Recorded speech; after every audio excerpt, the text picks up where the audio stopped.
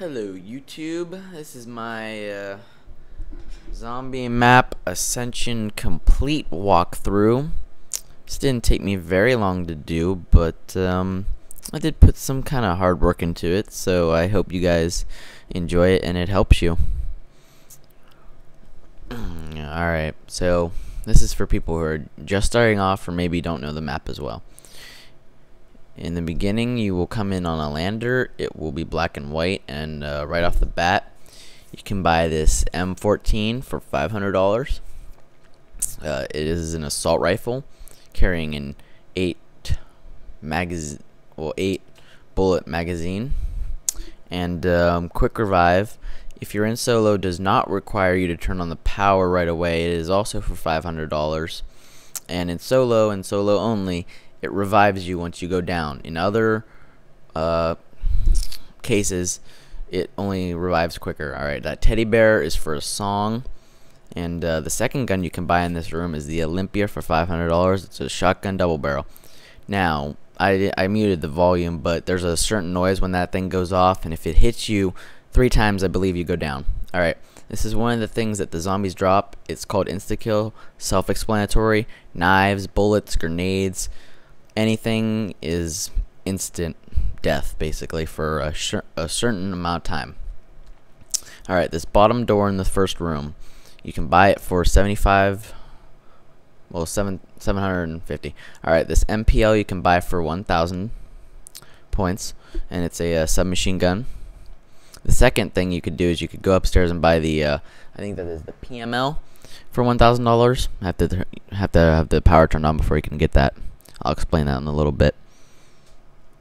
Alright, this is max ammo. Another thing that the zombies drop, self-explanatory, very necessary up in the higher levels. It replenishes all your ammo for everything, basically. Um, this is a crawler. You get them from uh, shooting, or, uh, well, the ray gun will blow their legs off, and uh, grenades will blow their legs off. Okay, so this door you could buy for 12.50. It leads to another building in the same building, another floor. The stakeout is a shotgun for I believe 1500. It's uh it's very effective until about round uh, 10 or higher. All right. This door leads to the power. You can buy it for a thousand. All right. So another thing the zombies drop is uh, double points. Very good for points. This is how I get so many points on a low level already. Um, Instead of getting 10 points per hit, you get 20. Self-explanatory, it's double. Alright, now right here I have a death machine, another thing the zombies drop for a certain amount of time. And right down there is Crackerjack, which repairs all the windows, and the bomb, which will blow up most zombies around you and give you points for using it. Same thing as the Crackerjack. And the death machine lasts for probably about 30 seconds, I would guess.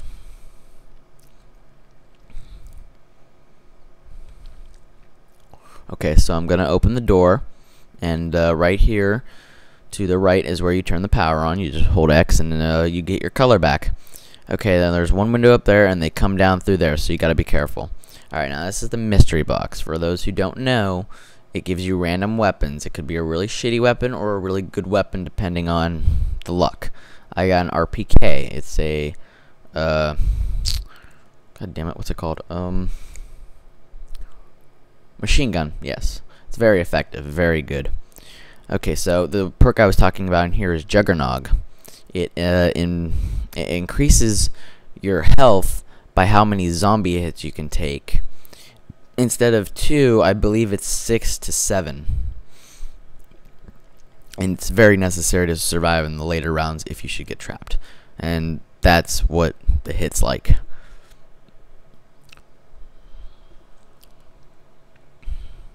Okay, so the second door in the first room you can buy for also seventy seven dollar. God damn. $750 and right outside there's an automatic turret that will run for probably about a good 30 seconds to a minute for $1500 now that is a symbol of a lander which is what you use to uh, activate the pack punch alright now out here there is an MP5k that you can buy for I believe a thousand not too bad not too bad And this is one of the three landers that you use to activate the pack-a-punch. You just go up to it and you say, or uh, it says press and hold X. All right. These are grenades, frag grenades. You get four of them for $250. This is a PhD or some PH or PhD, PH I believe, something like that. Anyway, uh, it's a flopper. It's uh, you dolphin dive and there's a explosion around.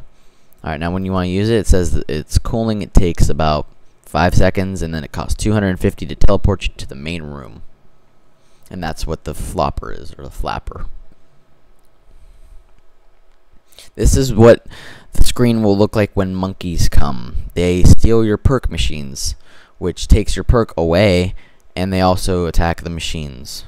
So it's good to have a team spread out between each machine so that they don't damage them because once damaged so many times you cannot buy them back. And juggernaut i believe to me is the most vital and this is what they do. They like jump on them and smash them and when they are being attacked you can see in the lower left hand corner uh, that they will make a sound. Like i said i muted the clip so you can't hear it but they will flash and that's how you know and you can alert your team if you're if you have a team and when you have killed all the monkeys you do get a max ammo they replace dogs in the same sense. And then your screen will go back to normal. And uh, this is the first teleporter that many people use. Um, there's a crawler there I had. He was mad because I got away. But it teleports you to the main room. And um, it's, it's fairly good for getting away if you're in a tight situation. And right there on that little red rocket, um, once as you can see, it's flashing green, so that means one lander has been activated. And speed cola. Okay. This is pretty essential too. It reloads your weapon a lot of a hell faster. I mean, it's just it's crazy. Um, it's three. You can buy it for three thousand dollars. Pretty expensive, but it's it's worth it. All right, this is the sickle. Related to the Bowie knife, it replaces your main knife with a basically just a sickle, and it takes about two stabs to kill him. I don't like it just because I don't like to get that close and close and personal. But that is another bear for the song, which you just hold up, you press and hold X for all three of them, and you get the song. And that beam of light uh, tells you where the box is. Anytime you look in the sky, uh, that's where the box is. and this is the second teleporter. Each are just 255 um, points. Very cheap for getting away if you need to yeah, you can you can even see that light from the sky. It's pretty nice. Pretty pretty neat that they uh, added that in there. You know, you go running around looking all day if you didn't know where the box was. And uh, this one also teleports you to the main room. And now the second part of this rocket will light up and flash and go solid, saying that the second one has been activated. And this is a fire trap. This is like the only fire trap that I've found that it creates fire for about probably 30 seconds to a minute, killing any zombies that step through it. Alright, this is the AK-47U. I don't like it just because it's underpowered, but you can buy it off the wall for $1,500. Stamina Up makes you run faster and a lot longer for, I believe, $2,000. It's a good deal. Now, this door you buy for 1250 I believe. That's another symbol of the lander. Here are claymores for a thousand. You get two every round, and they replace every round. So it's it's two around. Um, lastly, there are two thing there are two windows in here. That's the third bear. I didn't activate it because uh, I, I wasn't gonna plan on muting the clip, but it's just a lot easier. This is the third and final lander that you activate to get the uh, pack a punch, and that TV. The longer you look at it, the more clear it becomes. It will tell you, like, say how the box is over there. Okay, it tells me on the screen where the box is located. It actually shows a picture of the box and its surroundings. So this last teleporter here that also brings me to the uh, main room.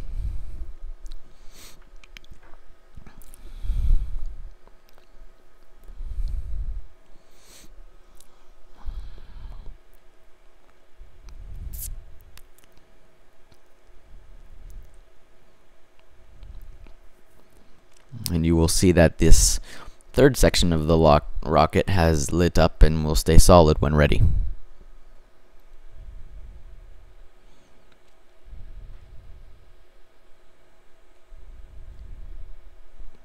Oh yeah, I had to think here. I was like, where do I have to go?